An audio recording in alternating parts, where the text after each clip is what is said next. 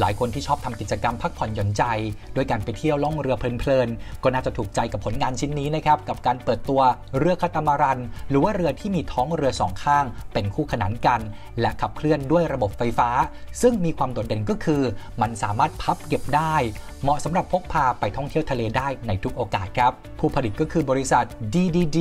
Manufactura สัญชาติฮังการีซึ่งเคลมว่าเรือลำนี้นะครับไม่จำเป็นต้องใช้ท่าเรือเพื่อปล่อยตัว เพราะขึ้นโครงเรือด้วยการปักตะเข็บทำให้เมื่อต้องการใช้งานก็เพียงแค่ยืดขยายได้ ด้วยการเป่าลม ปล่อยลอยทะเลได้ทันทีเลยครับนอกจากนี้นะครับน้ำหนักตัวเรือยังไม่มากนัก หนักเพียง 120 กิโลกรัมเท่านั้น และถึงแม้การออกแบบที่เน้นการพกพา ให้พับเก็บในท้ายรถได้ แต่ก็ยังไม่ทิ้งโครงสร้างตัวเรือที่ทนทานได้มาตรฐาน ของการเป็นเรือสำหรับรองรับการทำกิจกรรมได้หลากหลายครับ อีกหนึ่งสิ่งที่โดดเด่นก็คือระบบขับเคลื่อน เรือลำนี้นะครับเดินทางด้วยมอเตอร์ไฟฟ้า ePropulsion Spirit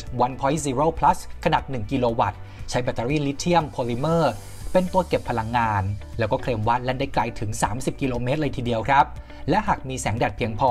ยังสามารถใช้พลังงานจากแผงโซลาร์เซลล์ขนาด 200 วัตต์บนตัวเรือ ช่วยให้เรือลำนี้แล่นด้วยความเร็ว 7 กิโลเมตรต่อชั่วโมง ได้โดยที่ไม่ต้องหยุดพักตลอดทั้งวันอีกด้วยนะครับ สำหรับขนาดของตัวเรือเมื่อกางออกบนพื้นน้ำก็จะขยายตัวได้ขนาดกว้าง 4.5 เมตร รองรับการบรรทุกได้ถึง 6 คนด้วยกัน ขณะที่บนดาดฟ้าหลักมีพื้นที่อาบแดดขนาด 3 ตารางเมตร รองรับน้ำหนักสูงสุดที่ 160 กิโลกรัม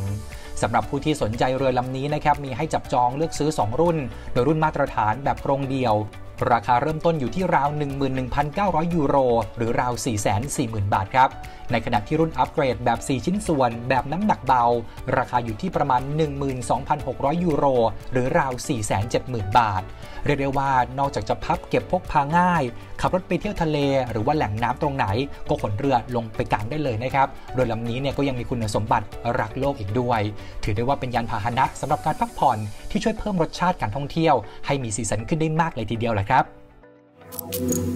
ขอบคุณที่รับชม TNN Tech Report นะคะ อย่าลืมกด subscribe กดกระดิ่ง กดไลค์ กดแชร์ในทุกช่องทางออนไลน์ของ TNN ช่อง 16 จะได้ไม่พลาดการรับชมรายการสดรวมถึงคลิปวิดีโอที่น่าสนใจอีกมากมายค่ะ